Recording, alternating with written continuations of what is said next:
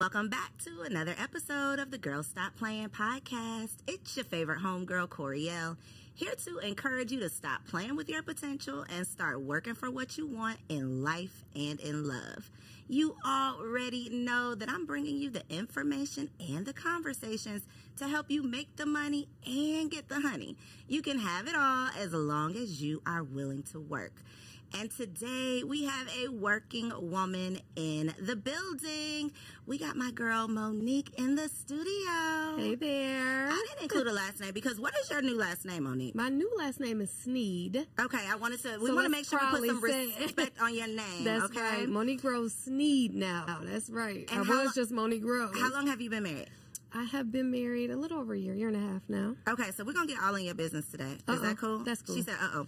Cool. Um, because we came, I don't even remember years ago, a couple years ago, Mm-hmm. we got connected online somehow. I don't remember. I don't even remember Me how. either. It just happened. Yeah. Found out that you were the owner of Milk and Honey, Yes. right? Yes. Milk and Honey, the real Milk and Honey. Correct. Well, milk and honey and the real milk and honey at some point, but yes. Okay, okay, Yes. both at some point. At Let's some talk point. about it. Mhm. Um, and now you've just you, you've evolved into just doing so many more amazing things. So I want to give you the opportunity to introduce yourself because I don't even know all of the fabulous things that you're working on. Aw. So what do the people need to know about Monique? All right, Monique Rose. I think that's what we're giving me now is multi hyphenated entrepreneur. Somebody called me that and I liked it, so I'm sticking with it. Mm-hmm. Um, so right now, I am still restaurateur by trade.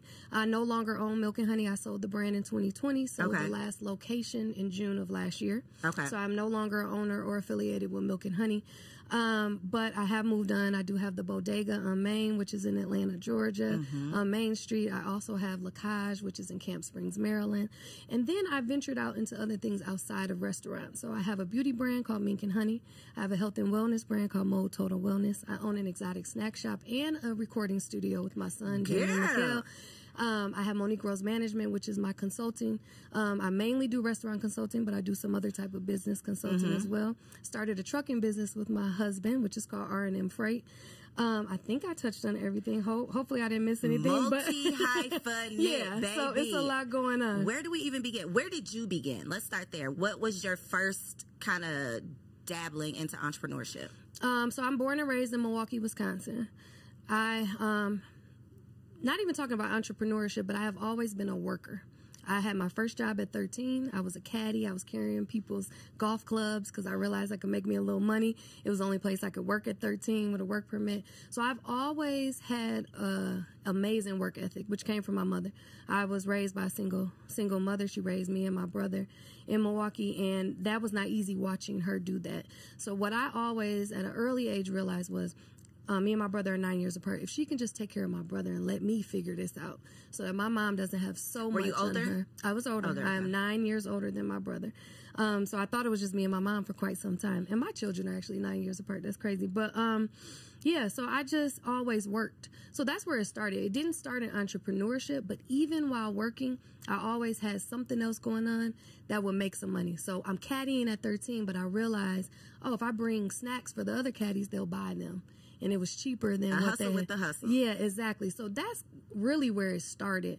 Um, as far as an official business, I own my first bar at can't remember if it was 21 or 22, but around that age, um, which was a huge feat. But I also learned my first business lesson there because I had no paperwork.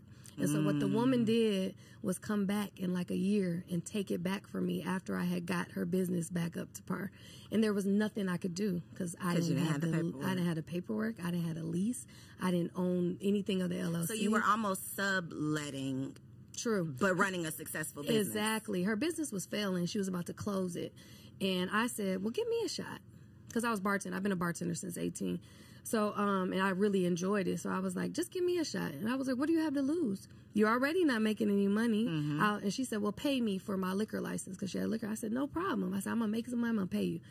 Did that. Turned it around in a year. She came, swooped it back for me. Hard lesson. Hard So lesson. Where did you go from there? Because that could have shut a lot of people down. Like Mm. I've done all of this, I've built it up, and now I have nothing. What was your next move after that? um, to do it for myself and do it the right way. And a lot of people probably would have shut down after that, but I've always worked. Like literally up until Milk and Honey peaked at success probably five years ago, I've had a job, like a day mm. job, like a job. So I always worked. I was a correctional officer for five years. I got my Series 7 and 63 license. Like I dabbled all over to see where I would like land. what you What I, I was good that at. is the part that so many people miss out on. It's the experimentation. It's I'm just gonna try a bunch of different stuff and see what I like. And I Mm-hmm. Think w- that's what we have to allow our children to do versus pointing them in the direction that we think they're gonna make money in or that we think is serious or that we think is professional. It's like no, figure out what you like so that when you get to this big age, now you're not trying to figure it out later. So Right. I love that you started at the tender age of 13 Yes. just kind of figuring out what you could do, how how this whole business thing works, and obviously to be able to open a successful business at 21 in the bar restaurant industry, Yes, yeah. a beast of an industry. I think that just speaks to the beginnings of you were building. You didn't. That was your first business, but it wasn't your first rodeo. Right. Right. Yeah, You I had, already I had had no idea what I was doing. I had no, you know, and I really, honestly, I'm still learning. Mm-hmm. Like, you know, people think, oh, you made all this money, you did. I'm still learning. So that was like, I'm glad I learned that lesson then. Right. I'm glad I Be- before you had so much to learn, so much at stake. Exactly. And I love that you even brought light to the fact that you still had a job. Because, baby, we're not saying that on the internet. Oh, listen. Well, that, I'm gonna tell the truth. Please I had a job until, like, I very recent. Like when we, you know, when we had like two or three milk and honeys. I think that's when I stopped working. So, let's. I want to pause there for a second because I think Instagram specifically has encouraged so many people to just take this leap of faith. Instagram is not going to pay your bills if you fall after that leap of faith. and we've just, and not even that everybody's promoting quit your job, but I think it's dishonest if It's you're very- promoting start this business, start this business, I'm making all this money, but you're mm-hmm. not saying I also have this security blanket supporting me. So mm-hmm. now I go out trying to follow your footsteps thinking I'm just gonna make all this money being an influencer or doing whatever you're doing online, but mm-hmm. I don't really know what's going on Right. that you're not posting about. That's so layered. Well, first of all, with the faith, faith without works is dead. That- So that's the part that they're not talking about. Faith is amazing, but if you don't do the work, Ain't gonna happen. like it, it's not going to happen. And there's so many ways that social media tricks us, and so many ways that people trick other people with social media. It's such a gift. If I could not do social media, I would Sign not. me up. I would not. But you know, because of the businesses That's that the I'm in, that's the climate and, that we're in. Yeah, you can't pass up free marketing. Like you would be Mm-hmm. insane to pass up opportunities. So you ha- there's a thin line. Like I have such a love hate relationship with it because I watch and I see. You know, like you said, I know you got a job. You know, But you everybody else people- don't know you got a job. People forget. People know you in real life. I know you have a job. I know, and again, not knocking No anybody's shade, hustle, yeah. no shade, no nothing. But I know you had a drug dealing boyfriend that gave you a hundred thousand dollars. I know that. I know that. You know the way that you you you position those cameras and make it look like your house is this is really not that. You know what I mean? But people that watch that don't know, No and clue. that honestly is why I started making sure that I told the truth on social media. I want you to know where I came from. I Mm-hmm. will never pretend to be anything like people say, especially my son all the time. Ma, you need to pop it. You don't need to pop it in the. I'm Pop not. your no. shit. Yeah, I'm not. I'm not. I'm. You're right. I'm not because I want people to see the truth. I was a teenage mother. I had my son at 16 years old.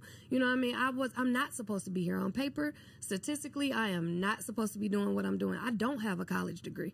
You know, I went to college, went for a year, and said I got to get back to work. You know what I mean? the math was not mathing The math was not. I said I'm about to borrow all this money, owe all this money, and still have a child. and not be able to pay it back. Yeah, That part. I was like, you know, there's so many things. So, and not that you have to do it my way. You know, I share these things so that you know I have a daughter now. I have several. I have three stepdaughters now. We don't use step bonus daughters. I have you know people that are looking up to me now, so I can say, don't do what I did. I'm not saying have a child at 16. I'm not saying don't go to college. I'm just saying that it's possible to go to create your own path and i think that has to be the message. There is not a cookie cutter. If you one plus one does not equal two when it comes to life Man. right? You cannot tell someone if you just do this and then you do that you're going to live this dream life and i think that has been the message for so many years on instagram. I think the climate is starting to shift and people are start like the veil is starting to lift. People are starting to realize they didn't got scammed and they Yes. just been following fraudulent Oh, people you know but for so long it was just this I have to, if I do this, if I, you know, run this play, if I get this Airbnb, if I start this Turo business, if I do this one thing, it's guaranteed to work mm-hmm. out. And that is not that's not the case. The only thing that's guaranteed is work. That. there whatever path you choose It's if you do the work. work if you do the work, it always intersects with success at some point. Maybe not exactly how you envisioned it or how you wanted it to be, but if you do the work, the skipping of the work is the problem. That, you want things that like fast that. track. That is what Instagram has made us think that success can be instant, Yeah. and that is not the case. It's so I wanted to ask you, like, what would you say your girl stop playing moment was? Like that moment when you're like, I got to stop playing with my potential. But I'm I'm feeling like 16 year old Monique. Mm-hmm. Something in her, maybe it was when you found out you was pregnant, when you had the baby. I don't Mm-hmm. know what the um, the environment was around you. I don't know what your mama was saying, what the what what the child's father was saying. I Mm-hmm. Don't know what that experience was, but I can just imagine if to have had a child at 16 and to Mm-hmm. be where you are now, there was something that sparked something inside of you in Um, that time. I've always had, even if I wasn't um, in religion, always had a relationship with God. I've always had a relation and believed that there was a higher power that was pushing me. So I, from a young, even before getting pregnant, used to tell everybody in Milwaukee, I'm gonna be a millionaire and I'm gonna get out of here. And they, of course, you know, one, it was beyond anything they could imagine. I didn't know any millionaires. I was told work. I told you I was a correctional officer for five years. You got this good government job. You get your pension. You get your benefits. You work this job. You retire. This is what was drilled That's into me. Uh, there were no entrepreneurs in my family, um, aside from my grandfather who owned a church. But even him, he worked. He had a job. So it was like it wasn't taught to me. I just felt and always knew there was something more than this. This cannot be all that God promised. This is, cannot be it. There is more to life than this. I didn't know how I was going to get there. I didn't even know how I was going to get out of Milwaukee. But I always, so I think that what moment that was, I think it was just God whispering to me always and saying, I got more for you, daughter. Just keep going, keep working. I always heard, keep working, keep working. Mm. People ask me to this day, why, why you work so much? Especially now, why you work so much? Because I've been there and I know this can be gone and Ain't no go back. listen in a second and i don't want to go back there um, but if i did have to i would guess what i would do? I Work used to your way food- out. I, exactly. I do the work again. I have no shame in going back to work for somebody else. My resume is crazy now. I could get me a, a heck of a job right now if i wanted to you know what i mean? So that i think that was the moment the the the adult moment though where i said you got to get yourself together is i had a partner in um, milk and honey um, who was also somebody that i had a personal relationship with. And that was not my idea. Milk and honey was his idea. And i helped grow it. And when all the things personally took place that made me realize this person is trying to strip me of the part that i played in something i know i did it was like get yourself together. Do not allow anybody ever to do that to you again. Was that almost like a full circle back to that 21 year old self? It, It- seems like it was very similar. Like you've done this work.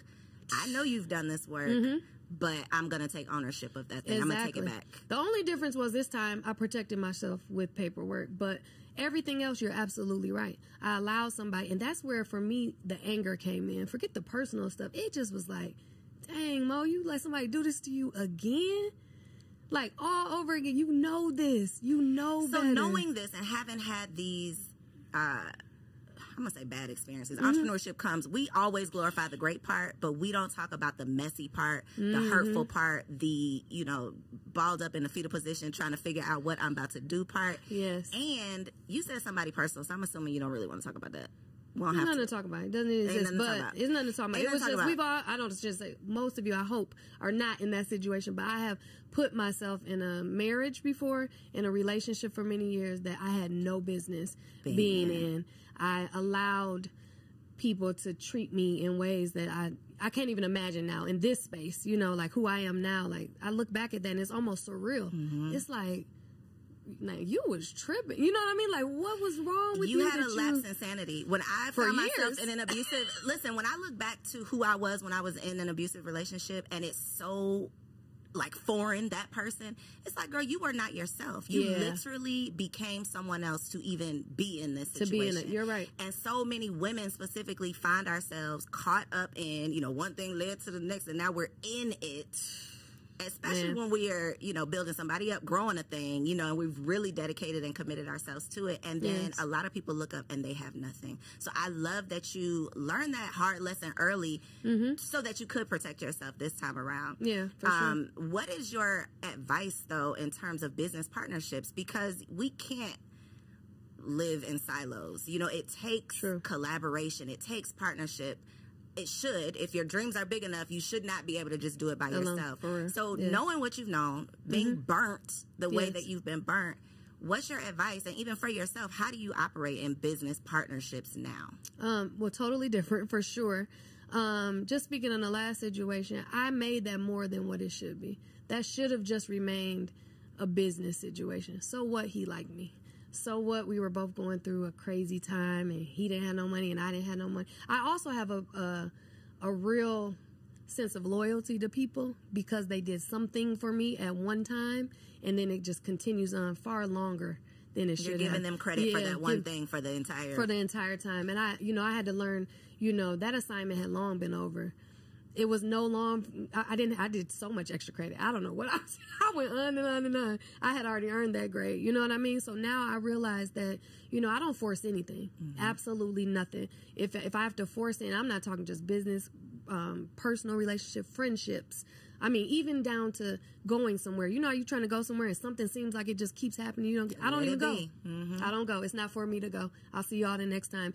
I don't force anything. So that is the lesson I've learned, and that's what I would tell people. If you have, if it feels forced, if it feels, if you're making allowances for somebody Mm. constantly, if you're making excuses for Mm-hmm. somebody, if you are hiding things from the people that care about you, that's not in a situation. That's not a situation you, should be in. Because when it's right, you want to tell people. You want to share. You know what I mean? And that is what my marriage now has taught me. Me Meeting my husband taught me. Um, like that's not how it w- was supposed to be. But I can see didn't the difference. I can see the difference. And I know, you know, it's cliche. Everybody said, "Well, I had to go through that to le- experience this and, and appreciate this." I wish I didn't have to go through that, but that is so true.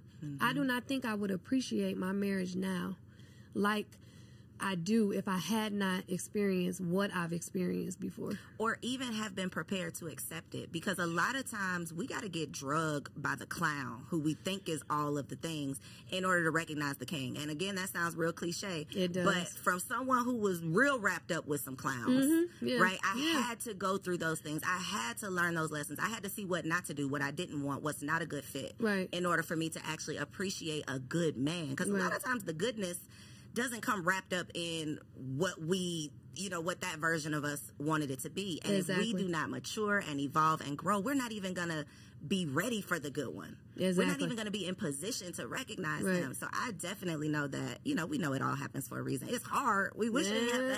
happen but I for look sure. back like, oh my the hell? God, what was I doing? why? And why? And why? Yeah.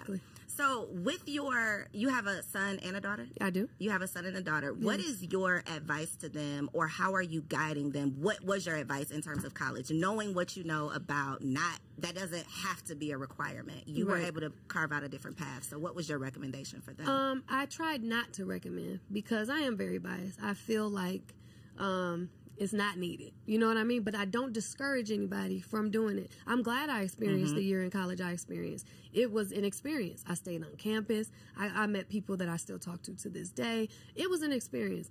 But for the path that I was on, it wasn't needed or required. And I think that now, let's fast forward now, in my 40s, it's definitely not needed in today's climate to be successful.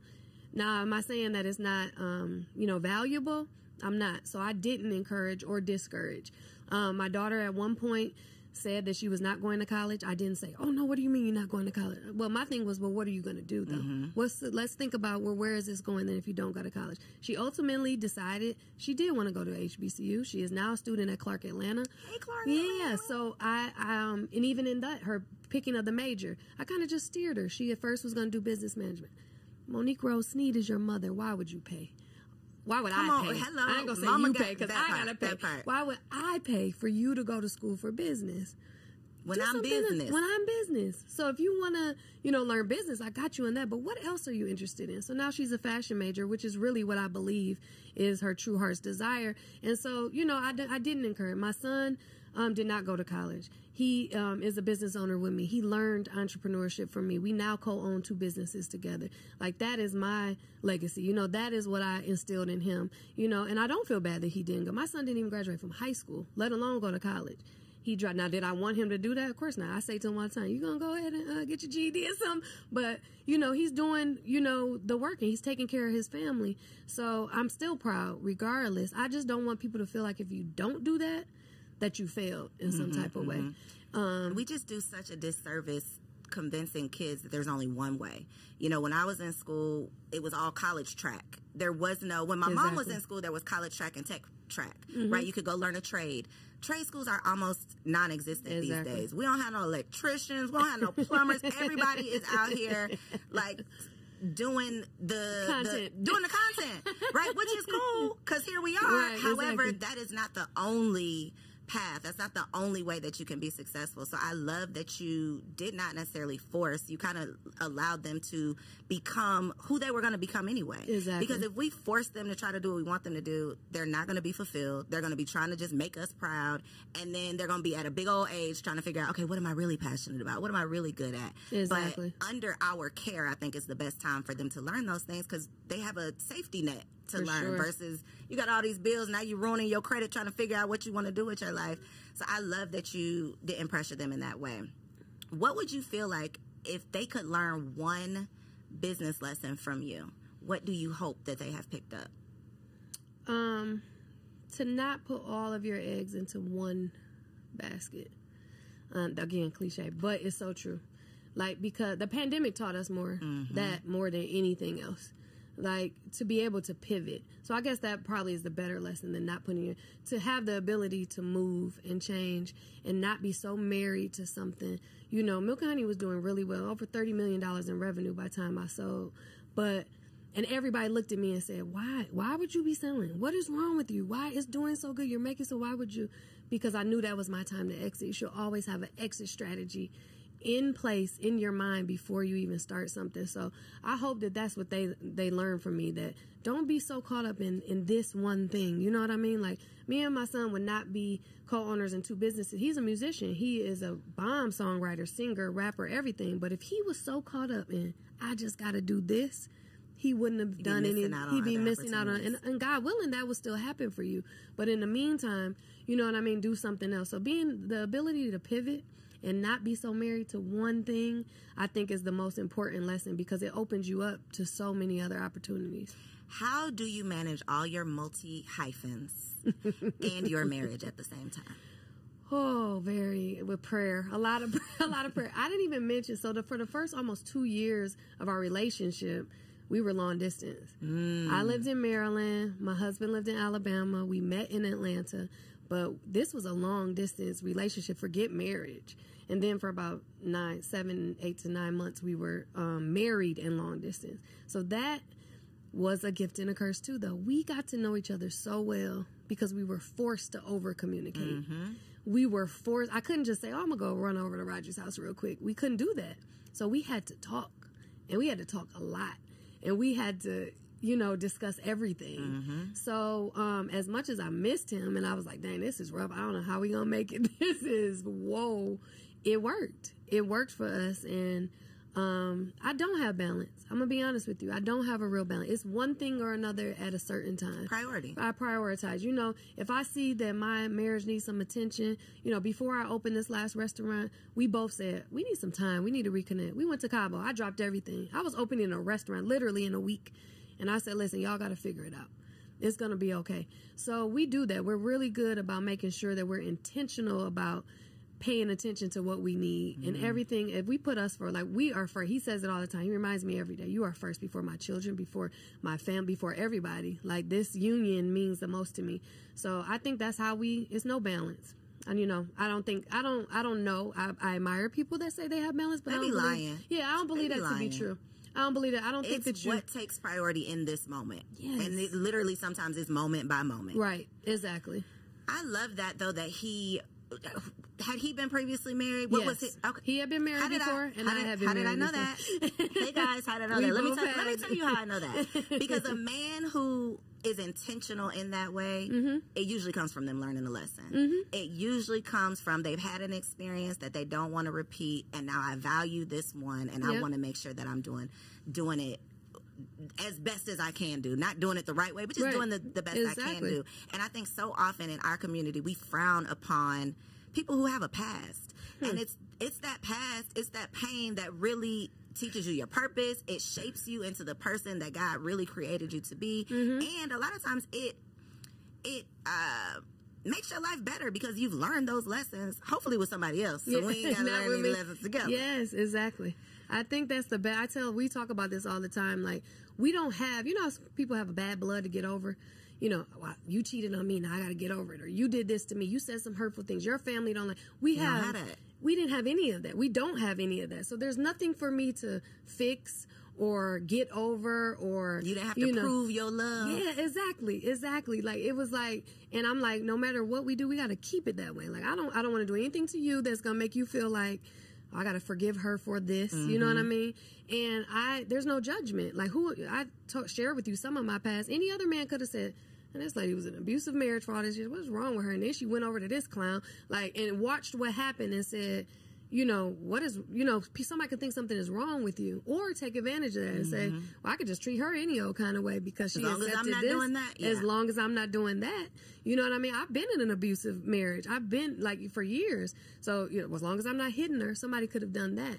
But you're right, because he was married before, he was in a situation where he was unhappy, where he left the marriage, had to leave two children. Like that was hard. Like he literally, in turn, that that's not easy. People think men, you know, just, walk yeah, away. just walk away. No, that was hard for him. You know, to to realize that now, dang, I gotta try to figure out how to co-parent away from not in the house with my children, and he's not a babysitting father; he's a father. You know what I mean? So all of these things definitely help. Like we mm-hmm. talk about it all the time. The time that we met was exactly when we needed to meet. My husband is eight years younger than me. We Ooh, couldn't have met. let's talk about yeah, it. we couldn't have met when I was in my thirties because you would have been in your twenties, and that would have never. So was that a red flag or green flag when y'all when you found out his age? Uh, it was a, it was just something. Like there were so many things. Like I said, we met in Atlanta. It's like you're eight years younger than me. I'm about to blow your top with this one. You live in Alabama and you had a seven week old child. Blown. Yeah. Okay. So it's like do do do do do. Mind you, I still had my ring on from the clown when I met him. So there were so many things going on that was like Some eh. stuff y'all needed to work through. Yeah. Okay. But it wasn't even a work through. It was like I woke up and realized within meeting my husband, I had moved out of a 12,000 square foot home in two weeks, within 14 days. I moved into a two bedroom apartment with my daughter. And it wasn't, I'm not going to say because of my husband, I had no idea where that was going. But that was like the thing. That was the catalyst. That was the thing that made me realize that's your girl stop playing moment. That's the moment right there. Like, quit playing with yourself. Like, even if this don't work out, you know what I Mm-hmm. You mean? know this ain't working out. this ain't it, Mm-hmm. and this is a possibility over here. You got this six four five girl. Get your life together. So I was like, you know what? And I was happier in that two bedroom apartment than I had been in years in this huge millions of dollar house with somebody that I had no business Mm-hmm. being with. You know what I mean? So it was like, yeah, I thought about those things. Like on paper, that sounds crazy. Girl, he had a seven week old child. Girl, He how you explain this? Pause for the cause. What was that conversation? He told me immediate. I'm talking about first conversation, and that has been the thing that has been the glue for us since then. There was, there's been no secrets. There's been the honesty. the honesty of it. It's like, take it. This is This who I is am. what it this is. is what it is. Yeah. Take it or leave it. He says he knew from the time he saw me. Like that's my wife. Um, I s- didn't see him when he first saw me, but we met at a later place and I saw him. And I ain't gonna say I saw him and said, "Oh, that's my husband," but it was, was something. something. I was like, you know, and people would say, "I love at first sight." And I used to think, "Girl, you crazy in your head? You gonna marry this man ten months from when you met him? You don't even know him." But I was in it, and within two weeks, we felt like like I knew I loved this man. He knew he loved me, and I was like, "This is." God, what are you doing here? So it was like those things happen. I'm not gonna, you know, I'm human. I thought about it. I said, Where are you doing, Monique? This man got a seven week old child. What about this woman? You know, I'm a girl's girl. So I'm like, Oh my God, what about this poor lady? Does she think that y'all gonna be together? What's going on? You know, all that type of stuff. And so all those things crossed my mind. But it worked and it worked because you know that was my person we met exactly when we were supposed to meet and those are challenges don't get me wrong but if you can accept my past and what I've been through, who am I to judge for, you know, for what you're going through right now? Mm-hmm. We all make poor decisions. We mm-hmm. all stay in situations longer than we should. We all have been, you know what I mean? Like, dang, why I do that? I mean, I might not ended up with a baby because of it, but I done been in some situations. Like, You could have. Yeah, Well, I could have. I could have. been like, you know, And that is what I think we all have to keep in mind because it is so easy to judge everybody and I don't want nothing to do with you because of what you've done, but behind closed doors, right? you Take have definitely done some Listen. Mm-hmm. things that people would judge you for that are unforgivable, that are bad decisions. Exactly. And even when it comes to like I've me and God got this thing going on that jail is just not my thing. I am never gonna get arrested. I am just gonna play it safe. I'm not doing Thank nothing that's gonna that. take me there, right? Right, exactly. But I have done things that could have possibly, like if I would have just got caught, Right. I, I could would be, I I, could have been in that same position. So to Right. judge someone who just happened to get caught, that to me is insanity. Mm-hmm. It you know, is. that is the biggest hypocritical thing. Like you know you done done some stuff that Exactly. Mm-hmm. could have got you caught up too. And so I love that you were able to look past that because girl, Mm-hmm. I definitely went on a date with somebody, you know, pre obviously when I was dating. I'm not dating anymore. Right, of But course. I sat down with somebody who had like a three month old baby and Mm. that turned it the, the date turned into us talking about go back home to this Right. baby. What are you doing? Exactly. So to so because I've been in that seat, I think Yeah. Mm-hmm. that it is so mature of you to be able to, you know, take your personal feelings out of it basically and look past what this could be versus just what's sitting this, this fact or you know these details. Yeah, exactly. How do you think you were able to let your guard down? How do you think you were able to accept someone Mm-hmm. even possibly being the right person having dealt with the wrong people for so long? It just like I said, it wasn't a force. It just flowed. So it was like if this isn't it, then I don't know what you're doing, guy. I just was like, this is like there was no there were none of the things that were there before. So for example, I was able to fully be me. I was able to I am quiet sometimes. I am outgoing sometimes. I do like to drink and. You know, I like to party. I like to have a good time. You might catch me twerking. You might catch me reading the Bible. You might. There's so many, fa- but I could never be all of me before because there was so much. You know, in abusive relationships, you've been in one. There's control. Mm-hmm. I want to control That's you. foundation Yeah, of it. in every way that I can, from your friends to your family, who you talk to, how you dress, what you. So when I was, it was like I when people. I'm gonna tell you when I really knew when people that didn't even know me for real would run into me and they would say, Girl, what you been doing? You look so good. You got this glow about you. You look so good. And I hadn't lost any weight yet or any of that stuff. It just was like they knew it. And they didn't even really know me. They for could real. smell it on They you. could feel it. And I felt it. I was like, that's when I knew, like, okay. Because I had already been through the worst. I've been through an abusive relationship. Mm-hmm. I've had to flee. I I fled Milwaukee to Atlanta. I, my intention was to move, but I had to flee with my daughter, escape. You know what I'm saying? Mm-hmm. Live in a in a in a state of fear for a year, thinking this man's gonna come kill me. He's gonna find me. You know what I mean? Like these type of things. So, what could really? What's the worst? What's worse than that? Mm-hmm. So so if this doesn't work out, would it be disappointing? For sure. Would my heart probably be broken if I love somebody? Yes, for sure. But I've been through the worst already. So that's really what made me realize like go for it and mm-hmm. give your all. Give your all until you realize in the discernment now. Now I know better. I won't make allowances for this man. I'm not going to make excuses. And with my husband, I haven't had to do that. There's no reason for me to say, well, oh, he got mommy issues or his whatever. You know, like all the things that, and the aha moment I'm going to tell you is I had a husband list from, had to be at least, I moved to Atlanta in 2016, maybe like 2012, so more than 10 years ago. And when I wrote that list, my homegirls at the time, my girlfriends say, girl, you got too much on this list. You are never going to find this man. You are asking for too much. And I found that list, like a memory on Facebook came up. And I went through the list. And he was everything. I'm talking about, and more. Even beyond, it was everything. I'm mm-hmm. talking down to hates to see me cry, has a good relationship with his mother. My brother would hang out with him on his own. These were all things that were on my list. Financially stable, fine. And it was like a eight check marks after it. Fine. Over six feet tall. Like all of these things were on there. And he hit everyone on the head. And plus, I was able to add more.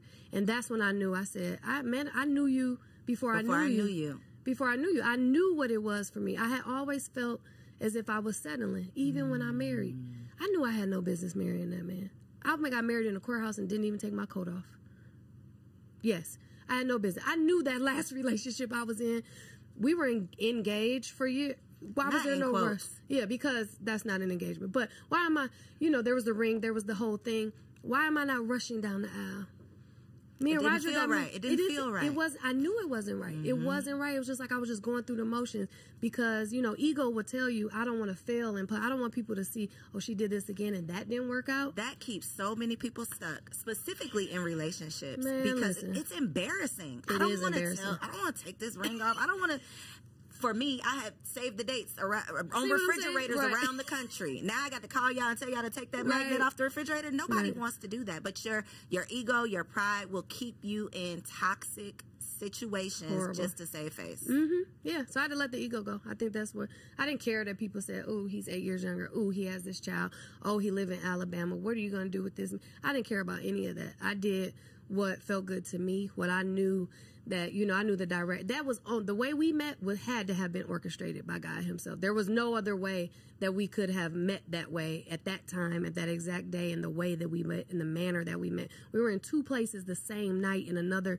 city that we neither of us live in you see me, I don't see you, and then God says, "Here, here she is again. Another Hello, chance here's now." another chance, sir." and then you take the chance. So, you know, I didn't care about that. I let the ego go, and I've been blessed. You know, I've been truly blessed, and this is this is eye opening for me, and I'm still learning. You know, like I'm still carrying stuff from other related. And I have to say, you know, I've learned to check myself and say to my husband, you know what, I was wrong for that. That wasn't you. I was projecting on you. You know, I it, this has been a new experience because I'm doing a lot of apologizing. Usually, it's somebody else done something to me, making up, and I have to apologize and say, you know what, that was unfair of me. You know mm. what I mean? Because it's not your fault what happened before. I mean, even the blending of the family. You know, I didn't my my children never were abused or anything like that, but I didn't ever feel that they were fully accepted by my previous partners. You know what I mean? So I would project that on him, and he's like, "No, we are one. My children are your children. Your children are my children. We are one." That's why I had to correct myself because if you heard me say "step," he'd be like, "We don't do that." You know, so there's so many things. I'm still learning, and I'm 40 some years old. 44 years. I just turned 44. 44 years old, and I'm still learning. What do you think is the benefit of having a younger husband? Ooh. I don't know how is it. For one, listen, because I've always dated people older than I was. So, um, for one, um, just a different perspective on things, definitely more energy, more um, youthful. You know what I mean? It's just more kind of keep more fun. Keeps you in. It keep he keeps me on my toes in a way that you know I've been in relationship with older people, older men. If they and they fit, I'm you know I'm in my forties. If they five, six, seven, eight years older than me, they fifty. You know what I mean? It's like no, we're not gonna be old. You know what I mean? He considers him. He's you know you're you're not forty yet, so you're not old. But you know, so it keeps it fun. It keeps me. Um, it's a different perspective on things, and luckily he is mature enough that it's not what you typically think. You think men don't mature as fast, but because, like you say, he's been married, he is a father. His priorities are family. He was raised in the South. Those are the things that are important to him, you know. So um, we we align in so many ways, but he definitely keeps me youthful. Like I've heard from many people, like, man, you look so much. You always super pretty. Don't get me wrong, but now you look like, you know what I mean? I so yeah, yeah, You have lived several lives. right. um, and learned so many lessons though that you can take into the next season and i think that's the important part For sure. um, and now you're teaching other people those lessons Yeah, I try. but I, I gotta i gotta ask you about keith lee though monique okay. real quick real quick just about keith lee Yes. because keith lee had the, has the streets on fire right if y'all don't know i know y'all know but Yeah. keith lee re- goes around and does these restaurant reviews. Now i know he came to atlanta and you are no longer affiliated with you know some of the restaurants that mm-hmm. he um, that he visited but mm-hmm. being in the restaurant space mm-hmm. and having this very public person potentially coming in and sharing a, a review as an entrepreneur what do you do with that? Like how do you prepare yourself for the public scrutiny Yeah, it was so in that this is so funny. In that situation, his visit to Atlanta, of course, was atlanta like Mm-hmm, viral because he didn't have many nice things to say. Then, of course, it was the layers because he visited the Real Milk and Honey, which I used to own. He also visited the Bodega, which I own. Did not give Milk and Honey a good review. Gave Bodega a wonderful review, which I still thank him. Where's my camera? To this day, thank you because I'm still seeing the residual for that. Um, but the way you prepare yourself is always you don't have to prepare if you're already ready. So I always like teach my staff the culture of my businesses are for one treat everybody the same. One of the things that he was so concerned about was that when they found out who he was they wanted to treat him Now they like a son. care. now they mm-hmm. care. And i'm that way all the time. I don't know who i'm talking to. I'm not always hip. It, there have been influencers that have come in and unfortunately i don't know. And then my daughter would be like ma that was such and such from youtube. That was you don't know who that is? But they got treated the same way as whomever that comes through. Because mm-hmm. i feel like especially post-pandemic people don't have a lot of money to spend you know after you know the the money ran out that they were getting. And you come spend your dollars with me i appreciate that. And i tell my staff that. So i think that that is why you know thank the lord we had such a great review and you know outcome from him visiting because we didn't have that everybody's treated the exact same way when mm-hmm. they come in that. so he he got the experience that any other person would have gotten but And his review reflected that. and his review reflected that. But also, on the flip side, to defend my other business owners in Atlanta, that's the spirit of Atlanta. I've been coming to Atlanta a long time, even before I moved here. It's always been, you know, the who's who, who you know, you get to see, and even restaurants. They're, that's why they have the best seat in the house. Because if somebody comes in, It's that's who you them. want. It's reserved for them. So you know, I, I get that's not his thing, but I don't necessarily feel that they were wrong on the flip side for how they handled it. It's just you know preference. Mhm. And it, it is Atlanta. Anybody who lives in Atlanta, we were not surprised by any of the things Like he said because we've all experienced that. Exactly. I literally right now, I own AtlantaRestaurantReview.com and I've had it for at least 10 years, maybe seven years. Okay. Because of the terrible experiences that I've had in Atlanta. And one day I was like, I'm about to start doing reviews. I mean, I never started it. Well, but come I review my had that- restaurant, please. Right. I need to, I need to just put this domain to use. Please. But I can definitely relate to that experience of the terrible service. You're being, you know, moved to the left. You got this one hour time limit. You got to get it, all of those things. So we people in Atlanta were not surprised, Keith. We, Not we at all. surprised. Um, my last question though is a personal. It's not a personal question, but it's I want to know this personally. Okay. As an entrepreneur, starting and trying to lead a team almost took me out of business Whew.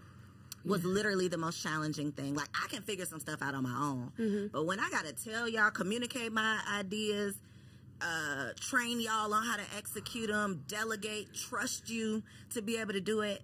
It literally almost put me out of business. Seriously. Mm-hmm. No. So for you to be able to do the things that you're doing and you're not doing them yourself, you Mm. have trained people and you have a staff, you have a team. What's your advice for that element? Because that's necessary to get to the next level. It is. A team is definitely necessary. Uh, whew. Team building is still my biggest challenge. I'm not a good delegator. I'm aware of my shortcomings and what I do well and what I, I don't do well. So delegating and releasing things and trusting, that's the thing, to trust somebody. I mean, down to an email, I still will be like, well, send it to me first so I can read me it. Let me review it real quick. Just make sure you got your commas in the right place and nothing is misspelled. You know, so letting that go has been a challenge for me. But as far as building the team, I have learned to n- be okay with not doing everything myself and finding people that are better than me at that thing. You know what I mean? So mm-hmm. th- that is where it shifted for me because I was doing all things. I was in the kitchen, I was cooking, I knew how to wash dishes, I knew how to host, I knew how to, you know, even with my consulting business, now I'm able to do more because I have a firm now. I have a publicist that's employed, I have a social media manager, I have, you know, someone that can write a menu for me. Why am I up writing a menu even though I can do it? You know, those type of things. So that was where it shifted for me. Find people that this is what they do. This one thing, the thing that you don't want to do, find the person that does it and has been doing it and has perfected it and is a master at it. And then I try to align myself with those people and be okay. Here's the other thing because people don't like to do this. You have to pay people. Like it costs money to make money. So do not try to go if you find an intern, there's nothing wrong with that, but expect intern, Intern results work. hmm e- expect to be frustrated because you have to train that person and teach that person. So it's also where you are in your business. At this stage in my business, at least for sure restaurant businesses, I can't teach you restaurants. I don't have the time, the capacity, the bandwidth, none of it to teach you restaurants. So I find people that are in the restaurant business like they are doing that. I can't teach people uh, engineer in our studio how to engineer, how to record somebody. So if you haven't been doing this already, you're not the person here. for my team. So that is what I learned. And the major, the one thing, if they don't get anything else from this interview as far as business is concerned, is take your time, hire slowly, and fire quickly. Removing people from my team that no longer fit or didn't really probably ever fit my vision has been the game changer for me. Mm. I used to hold on to people for so long, but I did it in my life too. Make excuses, make allowances for them. Well, she has three kids. Oh my God, what am I gonna do? Feeling bad. feeling bad. Oh, if I fire her, she won't be able to pay her bills. It's Christmas coming up, and then it's New Year's, and then it's, it's always this. It's always something. So when I stopped doing that, my team change because then you just narrow it down to the people that really are supposed to be there mm. that are in alignment with your vision. So I think we have to learn to let people go.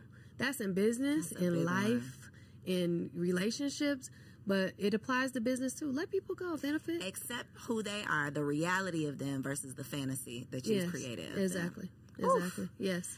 Okay, so Monique, it's probably gonna be another five minutes because you got 25 things to tell the people. But look in this camera right here and tell them where they can find you, what you got going on, how they can support. I'm gonna keep it simple. So the Monique Rose on all social media platforms. So the word the Monique Rose like the flower, M O N I Q U E R O S E. So the Monique Rose on all social media. My website is moniquerose.com and you can find all the hyphens there on everything um, that I do and in my bio, my link tree that takes you to everything. So if you land there, great. You'll get some of everything, all about my businesses. I try to inspire, I try to motivate, I try to teach for free. I'm teaching if you want to pick up these gems. Um, but yeah, follow me. follow Yes. your girl. We'll make sure all of her info is down below. If you enjoyed this episode, which I know you did, go ahead and share. Okay, like it, comment below, let me know something you learned. Subscribe to the channel and share this episode with a friend. If you happen to be listening to this episode on Apple or Spotify, leave your girl a five star review. If it ain't five star, keep it to yourself. Thank you for tuning in. I'll catch you on the next episode. Peace. Okay, before you go, I have to invite you to log on to everybodylied.com, my brand new blog where I am sharing with y'all the truth. Okay, when they told us we had to work until we died, that was a lie. When they said the clock was ticking and you need to hurry up and have those babies, that was a lie. When they tried to convince us that marriage was the magic pill, that if you find your man, you're going to live happily ever after, survey said that is a lie. And so if you are a woman that is walking into the newness of life, I want to share some resources, some lessons learned, some tips, some tricks, and some tools. Log on to everybodylied.com so we can learn and grow together.